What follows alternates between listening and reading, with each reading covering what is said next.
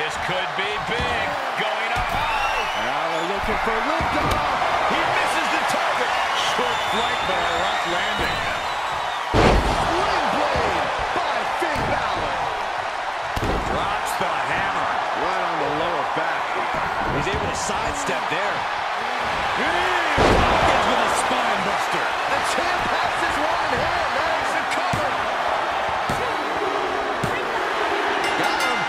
Tag titles stay put.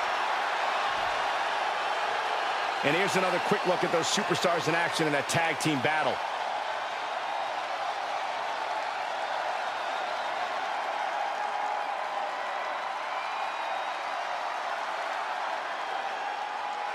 Here are your winners, and still the Raw Tag Team Champions, Montez Ford and Angelo Dawkins, Two great superstars that go great together, and that win is proof. Really putting the sports in sports entertainment. This is a duo that really practiced their teamwork.